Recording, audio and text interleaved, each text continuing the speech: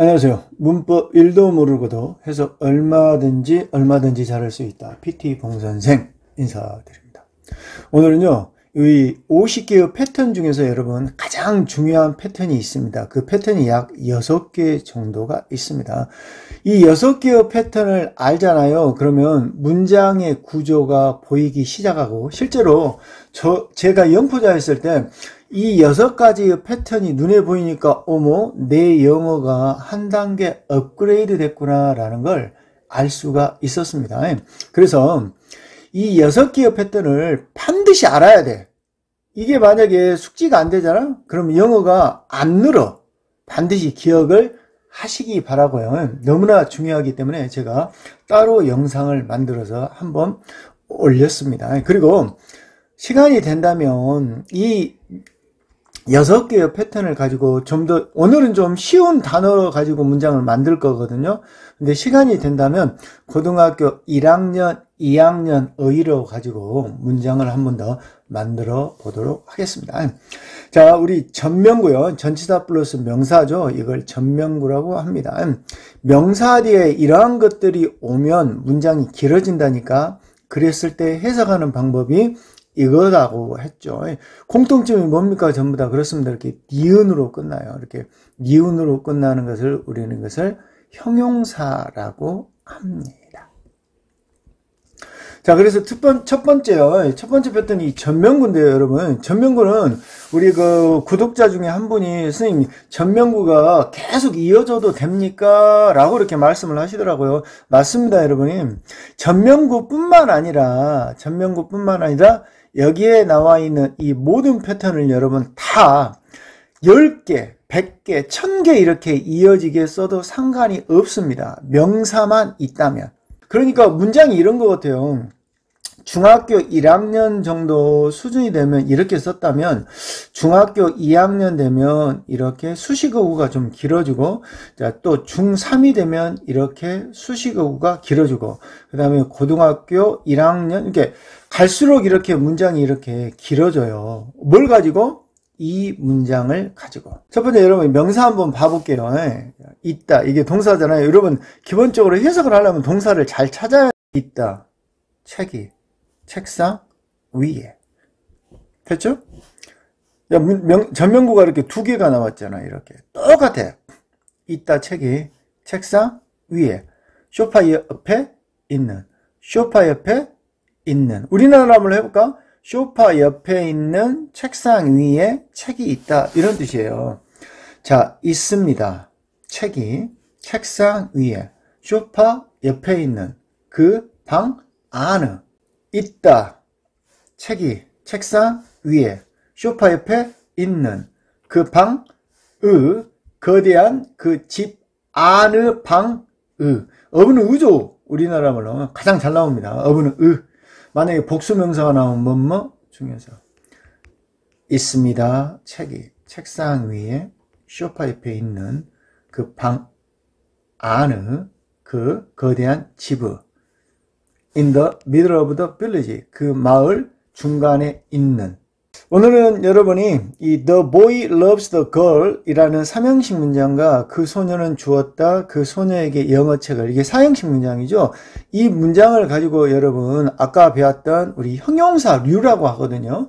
문장을 길게 만드는 아까 그 여섯 가지의 패턴 형사 류를 가지고 문장을 한번 길게 만들어 보는 시간을 갖도록 하겠습니다. 지금 시작합니다 여러분 그 소녀는 사랑한다 그 소녀를 이런 뜻이야. 이게 동사단 말이야.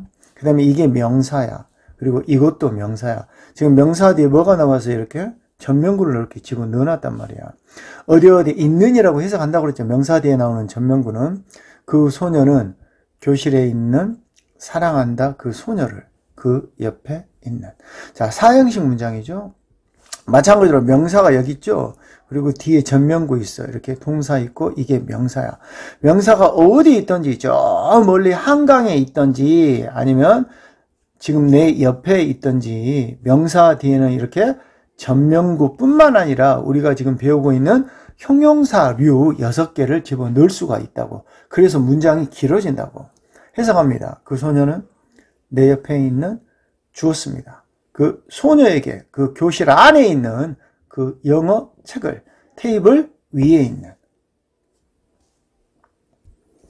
자, 두 번째 패턴 명사 뒤에 ing죠. 명사 뒤에 ing가 왔을 때 해석하는 방법입니다. 해석하는 방법은 뭐뭐 하고 있는 뭐뭐 하는이라고 해석을 합니다.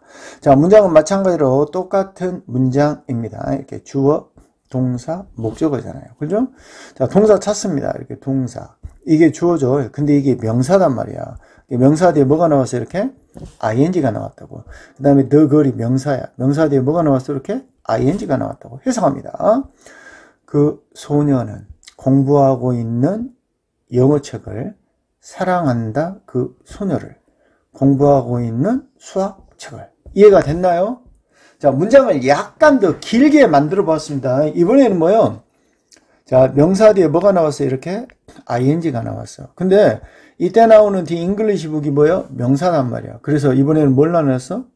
전명구를 넣어서 그 다음에 이게 동사고 이게 또 명사란 말이야. 그러니까 명사 뒤에 뭘로 ing를 넣어놨고 어 이, 이, 이까지가 한다는 애요. 그 다음에 이 매트 북이 뭐예요? 명사야. 명사 뒤에 여섯 가지 패턴 중에 뭐가 나온 거야? 이렇게 전명구가 온 거야. 문장이 길어졌잖아. 이렇게. 실제로 여러분 고등학교 가면 이렇게 문장이 길어진다니까요. 해석합니다. 그 소년. 공부하고 있는 영어책을 책상 위에 있는 사랑합니다. 그 소녀를 공부하고 있는 수학 책을 탁자 위에 있는 자 사형식 문장이라고 그랬죠 여러분이 뭐뭐에게 뭐뭇을 동사해 주다 이렇게 이게 명사잖아 이렇게요 자 똑같습니다 여러분이 자 이게 명사야 그리고 주어져 이렇게 가로를 치는 거야 이게 동사야 그리고 더 글이 명사야 그리고 이렇게 명사 뒤에 ing가 나왔어 이렇게 그다음 English 북이 있죠. 이게 명사야 이렇게. 그리고 명사 뒤에 뭐가 나왔어? 마찬가지 이렇게 ing가 나왔어. 명사 뒤에 ing. 지금 우리 이거 연습하고 있죠. 명사 뒤에 나오는 ing는 뭐뭐 하고 있는 뭐뭐 하는이라고. 문장이 길어졌는데 해석합니다. 그 소녀는 사랑하는 가난한 사람들을. 주었습니다. 그 소녀에게 원하는 의사가 되기를 영어 책을 놓여 있는 라인 거짓말하다 놓여 있다 놓여 있는 테이블 위에. 자 2-2로 갑니다. 여러분 색깔 한번 바꿔볼까요 문장이 길어졌죠 2-1에 비해서 그죠 몸만 파란 글씨 넣어놨단 말이야 다시요 이게 명사야 그리고 명사 뒤에 ing가 나왔어 이렇게 덜푸어가 명사야 명사 뒤에 뭐가 나왔어 ing가 나왔다고 이렇게 이게 동사야 이게 명사야? 명사 뒤에 ing가 나왔다고. 이렇게. 그 다음에 또 English book이 있죠. 마찬가지로 이게 명사야. 그 다음에 뭐야? 이렇게 나왔잖아. 이걸 수식해야 되겠죠? 이렇게. 이게 명사야. 그리고 뒤에 전명구 나왔어. 그럼 또 이렇게 수식하죠. 그 소녀는 사랑하는 가난한 사람들. 어떤 가난한 사람이야? 보이는 건강하지 않게. 주었습니다. 그 소녀에게 원하는 의사가 되기를 영어책을 놓여있는 책상 위에 뭐야? TV 옆에 있는 책상 위에 자 여러분이 세 번째 패턴 PP입니다. 명사가 어디 있든지 그 명사 뒤에 PP가 오잖아요. 그럼 해석하는 방법은 뭐뭐 해진 되어진이라고 해석합니다. 마찬가지로요. 문장은 이렇게 똑같은 문장입니다. 주어 동사 목적어 이렇게 자, 이게 주어입니다. 그 다음에 이게, 이게 동사라고 보면 안 된다니까. 뒤에 뭐가 있어요? 전치사가 나왔잖아. 전치사가 나오면 이건 동사가 아니라 PP라고 합니다. PP. PP를 다른 말로 뭐라고 그래요, 여러분? 쌍피라고 합니다. 쌍피. 참고로 쌍피는 여러분 똥이 있고, 그 다음에 비가 있고, 그 다음에 국진이 있고, 그 다음에 쪼크가 있습니다.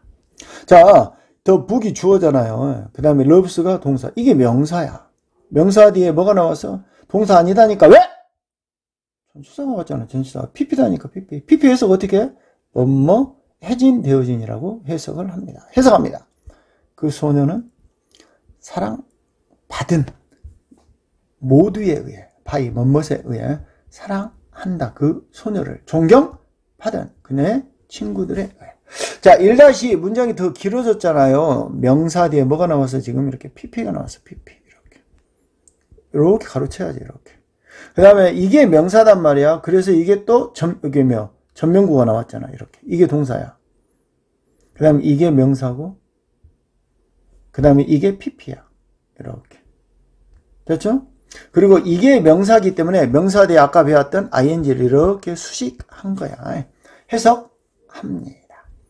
그 소녀는 사랑받은 모든 사람에 의해 그 마을에 있는 사랑합니다. 그 소녀를 존경받은 그녀의 친구들에 의해 어떤 친구야?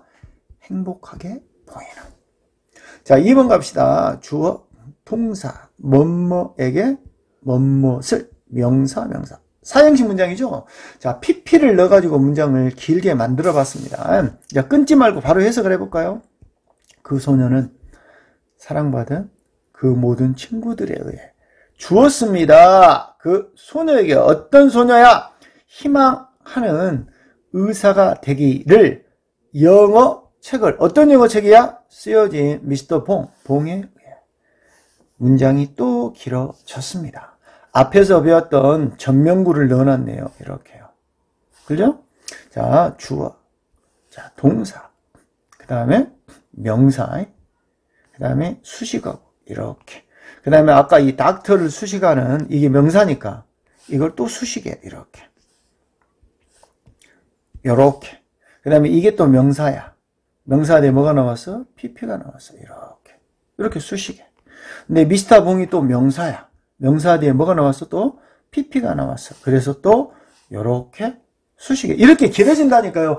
지금 제가 이 쓰고 있는 문장은 제가 이 문장을 억질로 만든 게 아니에요, 여러분. 실제로 영어 문장이 길어지면 이렇게 쓰인다니까. 그래서 누누이 말하잖아요. 문장이 이렇게 길으니까 이걸 기억하셔야 된다고 해석합니다.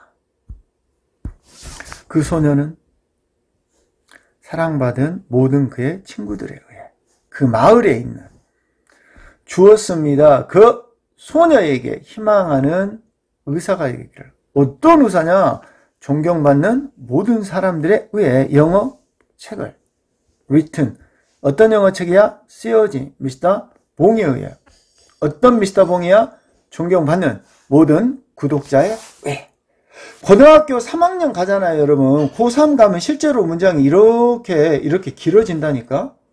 자, 네 번째 패턴입니다, 여러분이. 네 번째 패턴, 명사 대 투명사. 이거 잘 모르죠? 왜? 학생들이, 어, 명사 대 ing나 pp는 자주 보는데 이것은 자주 볼 기회가 없어요. 그러니까 내가 얘기하잖아요, 여러분이. 영민정음 책에 봐보면 이거 많이 넣어놨거든요. 많이 넣어놨어요. 왜? 학생들이 모르기 때문에 많이 만날 수 있는 기회를 제가 주려고요.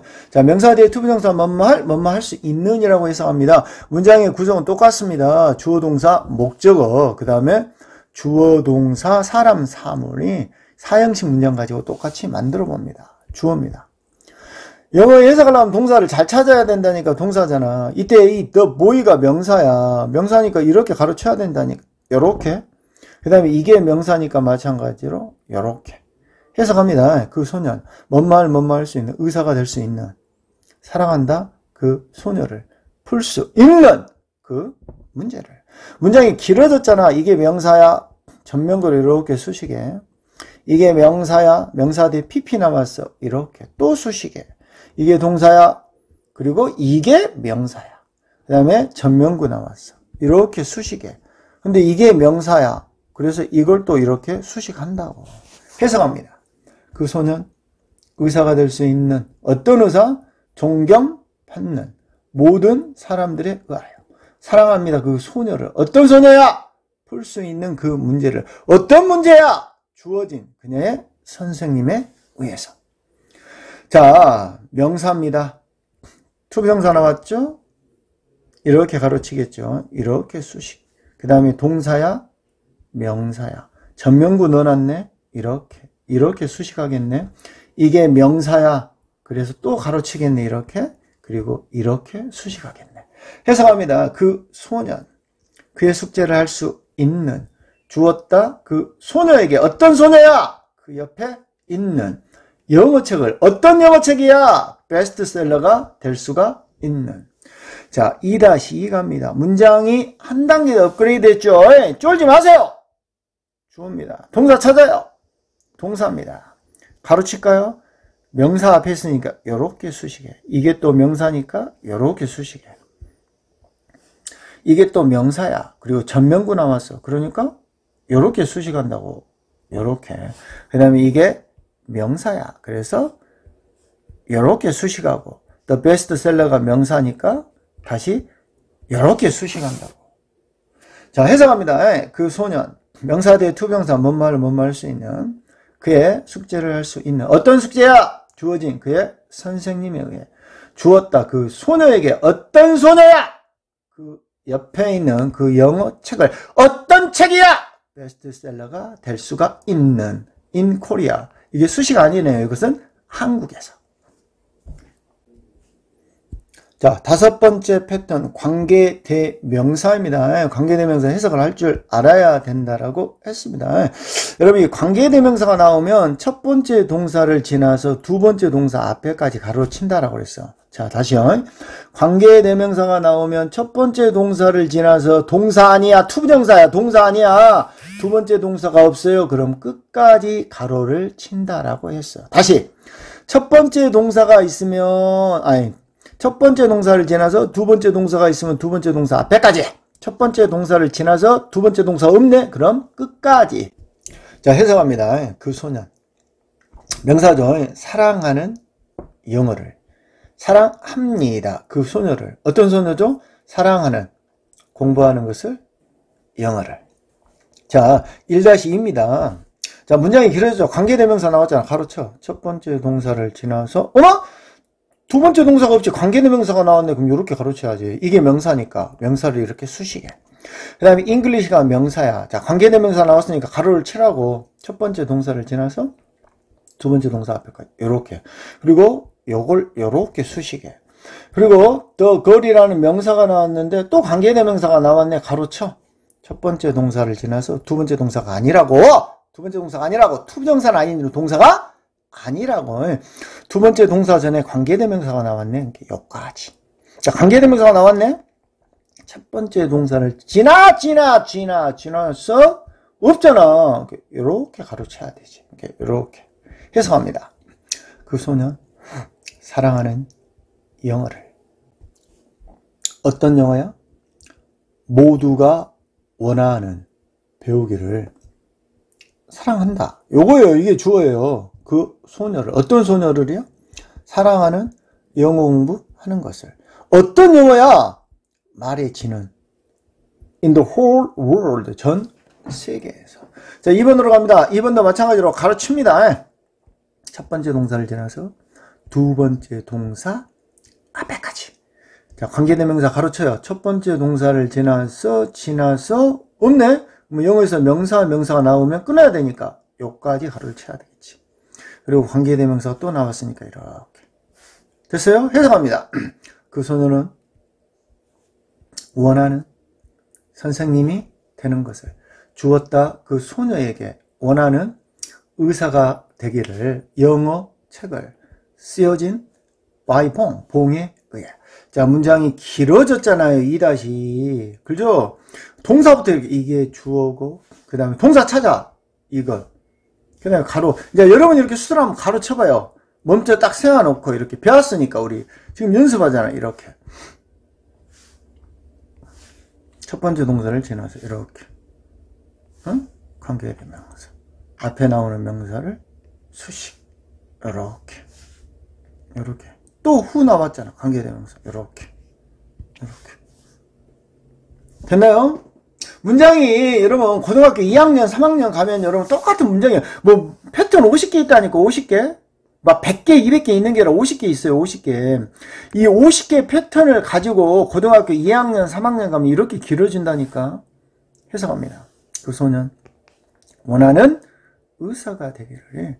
어떤 어떤 선생님이지? 선생님이네. 존경받는 모든 사람들이 주었습니다. 그 소녀에게 원하는 의사가 되기를 어떤 의사야? 버는 많은 돈을 영어 책을 어떤 영어 책이야? 쓰여진 봉에 의해 봉이 누군데? will be the bestseller 베스트셀러가 될 여러분이 형용사 구가 뭐냐면 이렇게 형용사만 나오잖아요. 그럼 이게 형사, 이게 형용사는 원래 명사 앞에 들어가거든요. 명사가 어디 있든지 명사 앞에 들어가냐. 지금 배우고 있는 걸 우리가 이름을 붙여놨잖아. 제가요. 뭐라고? 형용사 류라고. 근데 단어가 뭐예요? 전부 다 길어요. 그러니까 명사 앞에서 이렇게 수식을 하는 것이 아니라 형사는 이렇게 뒤에서 수식을 하는 거야. 그러니까 유스프리라는 형용사가 하나가 오면 이렇게 그 유용한 책은 나의 것이다. 이러거든요. 근데 1-1, 그 유용한 책은 아이들에게 나의 것. 이렇게 쓰면 안 돼. 왜냐면 이게 형용사고 이렇게 수식어구가 있잖아. 그러면 이렇게 가야 돼. 그 책은 유용한 아이들에게 나의 것이다. 단어가 하나 있을 때는 앞에 이렇게 가지만 이렇게 형용사가 뒤에 수식어구를 달라붙어 갖고 단어가 두 개가 되면 이렇게 수식한다더라. 그 이야기입니다. 자, 해석합시다. 그 소년. 이게 동사야. 이게 동사가 아니다니까. 동사만 바로 끝나야 돼. 제가 누누이 말하는 게 뭡니까, 여러분? 학생들 봐보면 ing나 pp 미친놈 새끼들이고 전부 다 동사. 그렇게 수십 번 또는 수백 번을 했지. 진짜 수업 중에 여러분 영민정음을 공부하면 제가 수백 번을 얘기해요. 그럼에도 불구하고 생각 없는 애 새끼들은 어쩐다고? 바로 끝난다고. 바로. 이런 애들은 영어 공부하면 안 돼요, 여러분. 제가 지금 수십 번, 수백 번을 얘기했는데 아직도 이 ing나 pp를 다로 끝난다. 이런 애들은 영어 공부하면 안 돼. 수학이나 공부해, 너희들은. 자, 봐봐요. 그 소년들은 능숙한 영어에 사랑한다. 그 소녀를. 이게 비폰더브가 뭔것을 좋아하는 이라는 형사야. 그죠? 좋아하는 영어책을. 자, 2번 갑시다. 2번 똑같죠, 여러분이? 이게 주어야. 이게 동사야. 그 다음에 이게 형용사 구야. 이게 명사야. 명사가 어디 있던지, 저기 한강에 있던지, 바로 내 앞에 있던지 명사되는 이렇게 형용사 루가 올 수가 있다니까. 이게 명사야. 이렇게. 그리고 이게 형용사 구단 말 해석합니다. 그 소년 능숙한 영어에 주었습니다. 그 소녀에게 어떤 소녀죠? 좋아하는 영어책을 영어 책을 유용한 어린 아이들에게. 여러분, 방금 우리가 공부했던 그 여섯 가지 패턴이 있잖아요. 참고로 그 여섯 가지 패턴은 여러분, 뭐야? 주격 비동사가 생략이 되면 나오는 형태입니다. 이렇게요. 자, 문법적인 건데, 뭐 간단하니까요. 관계대명사가 있잖아요. 관계대명사부터 첫 번째 동사를 지나서 두 번째 동사 앞에까지 이렇게 가로치잖아요. 이렇게. 이렇게 다요. 이 문장 전부 다 이렇게 지금 가로를 친단 말이에요. 근데 이게 주격 비동사예요. 주격 비동사. 그럼 이게 생각이 되면 뭐예요? 이렇게요. 그 남자 해석해 볼게요. 그 남자 읽고 있는 책을 보인다 행복하게. 근데 이걸 빼도 어때요? 여러분 해석이 똑같잖아. 명사 대 ing 전부 다 니은으로 끝나니까 쓰여진 이게 있어도 쓰여진 이거 유용한 이게 있어도 유용한 다 주격 비동사가 생략이 됐잖아요. 그 책 책상 위에 있는 이게 있으나 없으나 해석이 똑같잖아. 여러분 피트용법 공부했죠. 우리 영민정음 기초에 나와 있는 사항입니다. 그 남자 will로 한다고 그랬잖아요. 공부할 그 영어책을.